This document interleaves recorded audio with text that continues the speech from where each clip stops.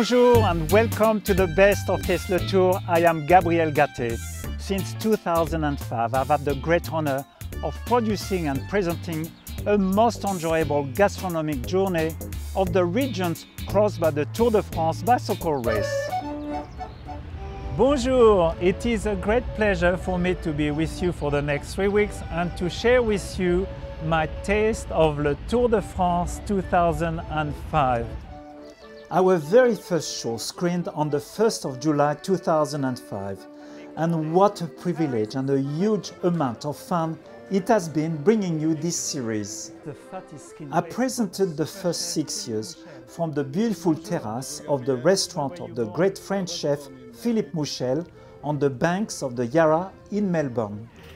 Philippe was a regular contributor to the show over the first six years his classic training and exquisite skills creating French dishes really set a high standard that we were able to keep up right through our series. La ballotine de canard, c'est une entrée des plus nobles de la cuisine française, surtout avec du foie gras.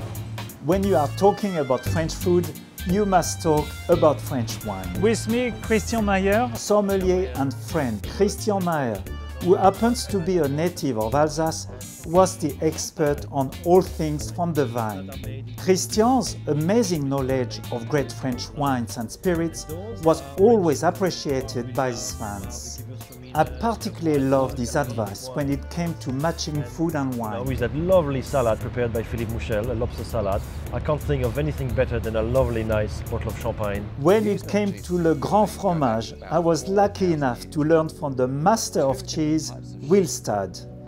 With his passion and expert knowledge of French and European cheeses, Will tempted our taste buds for the six years, he was a regular contributor.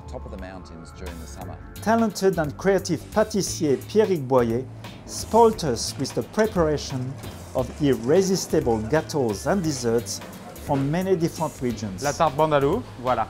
I was thrilled to introduce many other experts at that time, including Vigneron Dominique Portet, Italian chef Joe Vargetto, young pâtissier Sébastien Bureau, and Breton Jean-Marie Blanchot, as well as my friends charcutier Guillaume and Muriel Langlois. And believe it or not, my eccentric brother and gendarme François is a very keen cook and he thinks he's funny. François was much loved by our audience, even though at times he was a bit messy. Keeping it in the family, my wife Angie and son Michael shared their love and passion for French cuisine by contributing with amazing regional specialties. Merci mes chéris. Since 2011, I have presented Taste Le Tour entirely from France or from whatever country the Tour de France visits. It is hard to name a favorite year, but I think 2013 with the celebration of the 100th Tour de France starting in Corsica was extra special. Napoleon Bonaparte was born only a few hundred meters from here.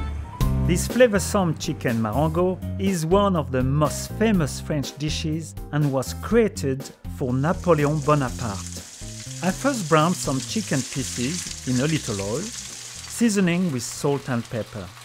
Then I transfer the chicken to a roasting pan and bake in the oven at 160 degrees for about 15 minutes.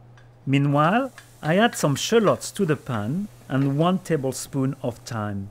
After a few minutes, I add 4 pieces of orange peel and half a glass of Corsican white wine and boil until the wine has almost evaporated. Next, I stir in 2 cups of diced tomato for a few minutes and add the chicken pieces with 2 tablespoons of olives. When it's hot, I serve the chicken with a little sauce and freshly cooked broad beans. It's very popular and I understand why Napoleon loved poulet marengo. In our next show we feature some memorable specialties of countries visited by the tour outside France.